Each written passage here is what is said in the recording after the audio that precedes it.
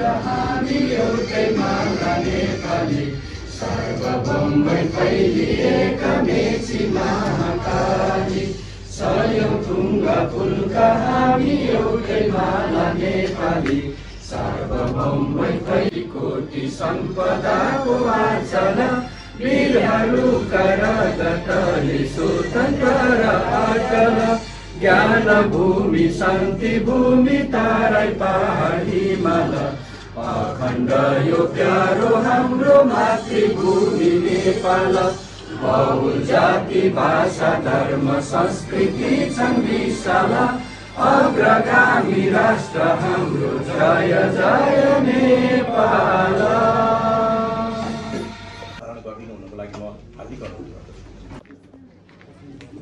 त्यस्तै गरी तिमीलाई लागौँ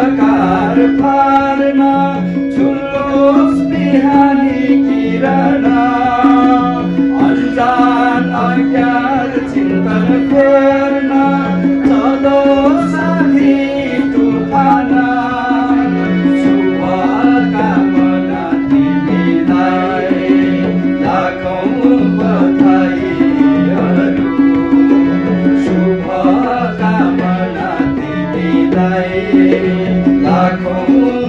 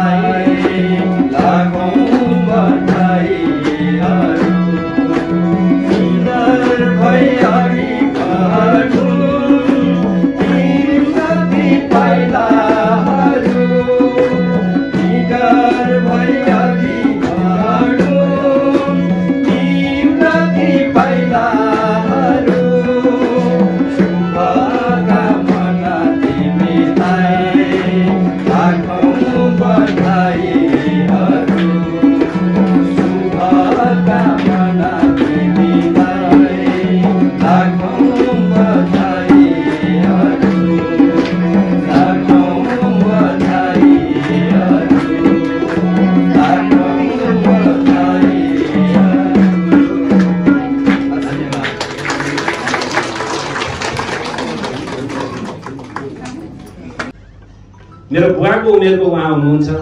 उहाँले समाजमा गरेका सत्कर्महरू साहित्यमा गरेको साधना र उहाँले आफ्नो जीवन सङ्घर्षका क्रममा गरेका विभिन्न किसिमका कष्ट दुःख भोगाईहरूलाई मैले पाँच सात मिनटमा प्रस्तुत गर्नु दृष्टता हो जस्तो रूपले जसरी चिन्न छन् त्यही नै मेरो परिचय हो भन्ने सायद उहाँको भाव होला भन्ने मलाई लाग्छ र यस मानेमा उहाँको समग्र परिचय मबाट प्रस्तुत हुन सक्दैन कि भन्ने कुरामा एउटा अप्ठ्यारो हो र अर्को अप्ठ्यारो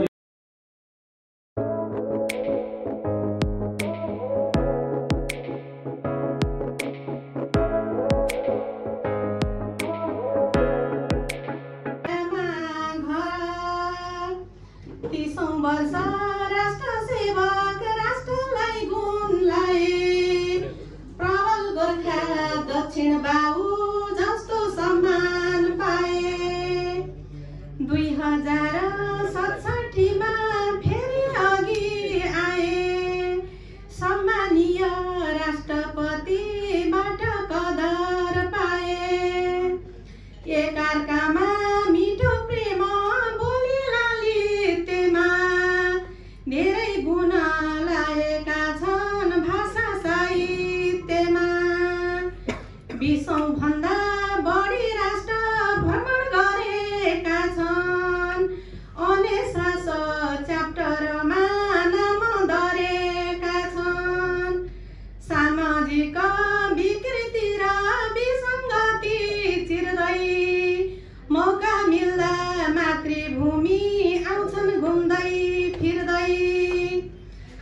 साधनलाई हरा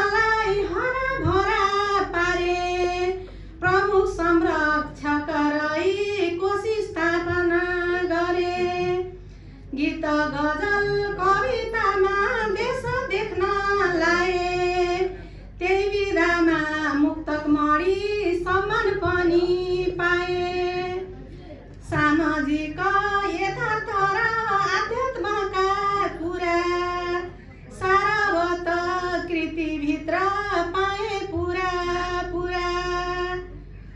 असी वर्षे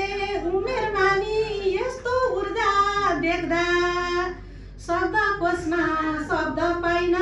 उनको बारे लेख्दा शब्द कोषमा शब्द पाइन उनको बारे लेख्दा उनको बारे लेख्दा हस् अर्को कुनै कसी छैन उहाँहरूलाई मापन गर्ने अर्को कुनै कसी छ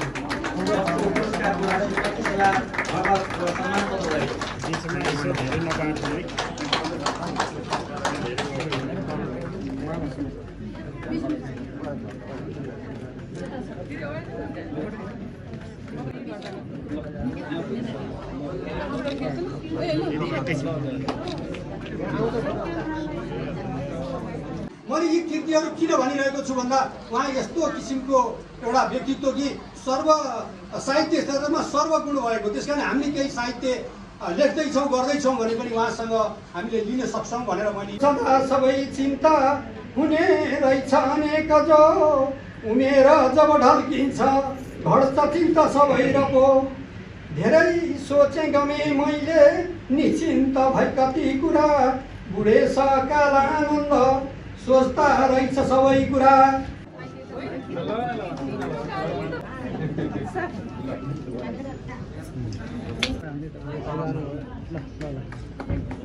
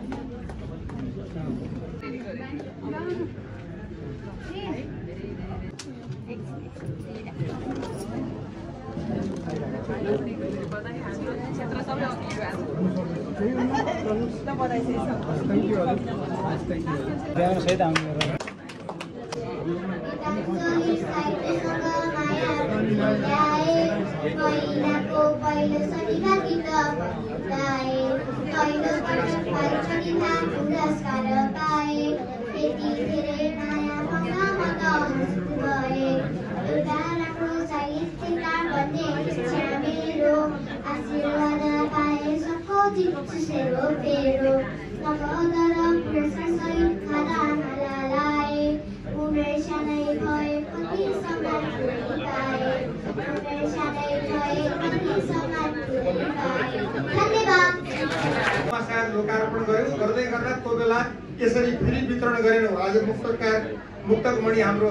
दाजुको चाहिँ मुक्तक सङ्ग्रह सारावत जस्तै नि शुल्क प्राप्त गरेनौँ हामीले बाहिर चाहिँ यस्तै प्रयोजनको लागि भनेर वितरण गरेर राखेका थियौँ परिणति दस आठ हजार कति जम्मा भयो त्यो बेलाको मूल्य पनि प्रयोग हुन्थ्यो अनि त्यसलाई जोरगास पारेर एघार हजार एक सय एघार रुपियाँ बराबरको तुलसी भनेको तुलसीराम पौडेल मेरो पिताश्री जो स्वर्गवासी हुनुभयो सन्तानब्बे वर्षको उमेरमा आजभन्दा पाँच वर्ष पहिले मुवाल मेरो गर्भवती जन्मदात्री हुनुहुन्छ जो अहिले पनि असी वर्ष जतिको हुनुहुन्छ र अहिले मेरो ठुलो मुवा जो चाहिँ स्वर्गवासी भएको अहिले पाँच सात वर्ष भइसक्यो त्यसले गर्दा उहाँहरूको सम्झनामा सानो बाल प्रतिभाको लागि लौ त गरौँ भन्ने र त्यही अनुसार थापना गरेको थिएँ आज यत्रो गौरवान्वित समारोहमा उपस्थित भएर त्यही नाताले मनसाए आफ्नो मन्तव्य प्रकट गर्न पाउँदा वास्तवमै आधारित छु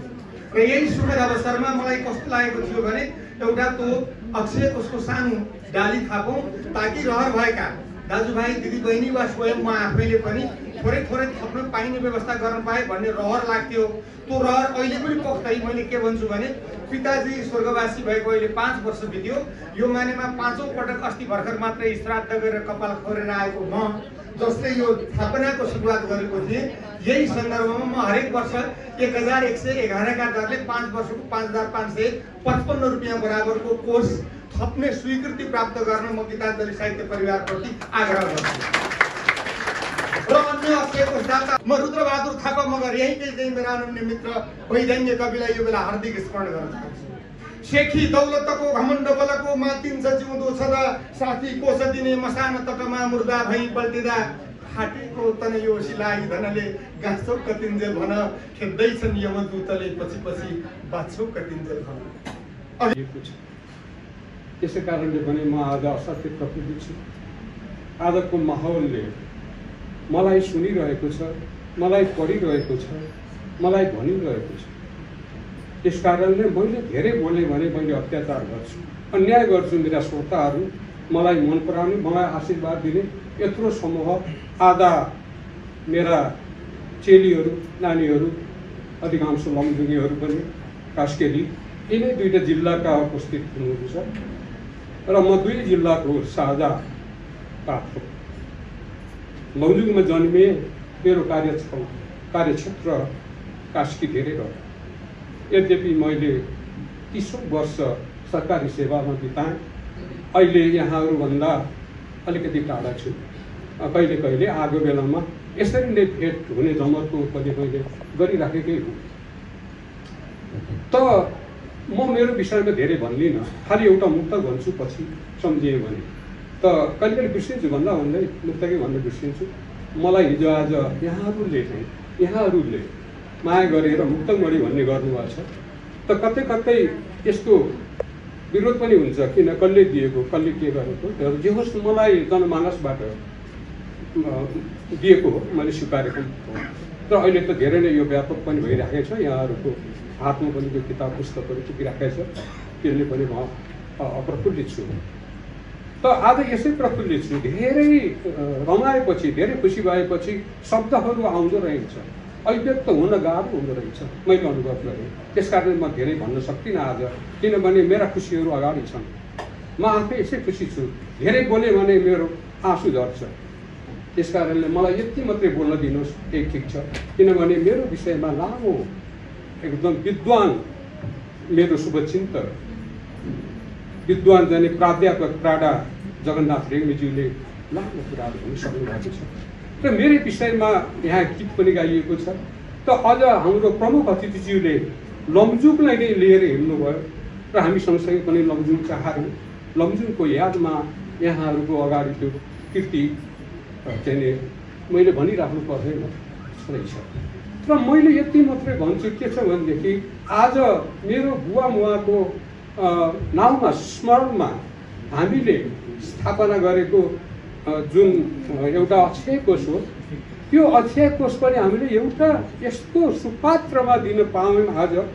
यद्यपि उहाँ चाहिँ नि कति चौथो पाँचौँ हुनुहुन्छ चौथो चौथो पात्र कि योभन्दा अगाडि पनि तिनजना तिनवटा चाहिँ पुरस्कार वितरण गरेको हो तिनै चारैजना सुपात्रहरू र यो अर्को तिनजना पछि एउटा अर्का थोक्तो थपिनु भयो त्यसको लागि म धेरै खुसी छु हामीले त्यो प्रदान गर्न पाएकोमा ग्रहण गरिदिनु भएकोमा धन्यवाद दिन चाहन्छु आजका पुरस्कृत लागि अनि के म के मात्रै भन्न चाहन्छु भनेदेखि यो हावा चलेको बेलामा बत्ती निच्छ हुरी चलेको बेलामा निच्छ जुन बलिरहन्छन् जुन प्रदीप्त भइरहन्छन् ती चाहिँ नै कवि हो तिनै कविहरूले आज पुरस्कृत भए यी कवि प्रदीप्त भइरहेका समाजमा प्रदीप्त भइराखेका कविहरू हुन् ती त्यसको लागि हामी गौरवान्वित छौँ हामीले समाजले पनि यस्ता कविहरूलाई उत्पादन गर्यो त्यो साहित्यले उत्पादन गरेको हो वेदनाको मसीले दुई चार अक्षर लेखेको छु मेरो सफलतामा थोरै आफ्नो र धेरै मटियाराको हात देखेको छु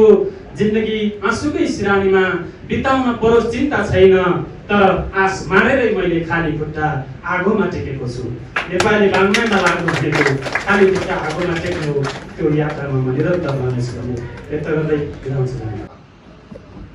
गाउँलेले प्रश्न उठाए थाहा पाउनेहरूले पनि तीव्र गरे होइन लौने चाहिँ यहीँ हल्लिने सुहानी चाहिँ विदेश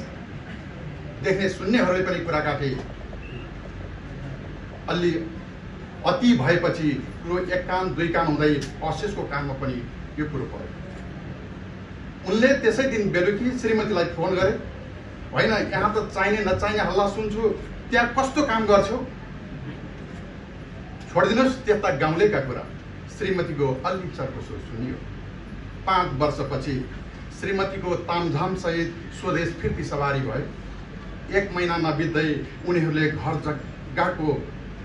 क्षेत्रफल बढाए तलो थपे र एउटा चिटिक्कको कार कार पनि किने त्यसपछि समाजको प्रतिक्रिया सुनिन थाल्यो बेलैमा नर्सिङ पढाइ र अहिले यो प्रगति देख्न पाइयो हामीलाई गीताञ्जली रत्न सम्मान हामीलाई प्रदान गर्यो मलाई प्रदान गर्यो हाम्रा दुईजना श्रेष्ठा असफल गौतमज्यू र अर्को यी इदिवा कतिवटालाई पनि सम्मान गर्यो बाल प्रतिभा पुरस्कारले गीताञ्जली साहित्य परिवार सधैँ हाम्रा लागि ऋणी छ र ठुलो गुण लागेको छ आज सम्मानित हुनुभएका स्रष्टाप्रति हार्दिक बधाई ज्ञापन गर्दछु र सँगसँगै धेरै व्यक्तिका लागि प्रेरणा थप्दै गर्नुभएका अग्रज र पछिल्लो पुस्ताले साहित्य क्षेत्रमा मुक्तको क्षेत्रमा अथवा यो कास्कीलाई साहित्यमय बनाउनका लागि योगदान पुऱ्याउनु भएका जति व्यक्तिहरूको अनुभव सुन्न पायौँ उहाँहरू पनि धन्यवादका पात्र हुनुहुन्छ पसिना रोपे बिरुवा रोपे सुकिलो धान रोपे खुसीमा आज खै के के रोपे हँसिलो मन रोपे खुसिलो मन रोपे खुसीमा आज खोइ के के रोपे खुसिलो मन रोपे खुसीमा आज खोइ के के रोपे खुसिलो मन रोपे एक टुक्रा मात्रै लामो छ त्यति भने यस्तै लौजुङको पनि एक टुक्रा दोबान फोटेको उडाएर सूर्य రంగ సూర్య పల్హని తాన్రంగం वर्षाको बेला के गर्दै बोलिन् हुन्छ किसानीमा हिजमा माइत गए कि होलिन् देउता पानीमा हिजमा माइत गए कि होलिन् देउता पानीमा कैयौँ नेता कोही नेता पार गर्दै आज यो अवस्थामा एउटा पोखरामा थुप्रै एउटा साहित्यिक सङ्घ संस्थाहरू छन् र यसमा आफ्नो पृथक पहिचान बनाउँदै पृथक पदचाप छोड्दै अग्रजहरूलाई सम्मान गर्दै नयाँ पुस्तालाई पाठशाला बन्दै शासक एउटा बनेर र गीताञ्जली साहित्यको पनि मेय बनेर जुन एउटा राम्रो कर्म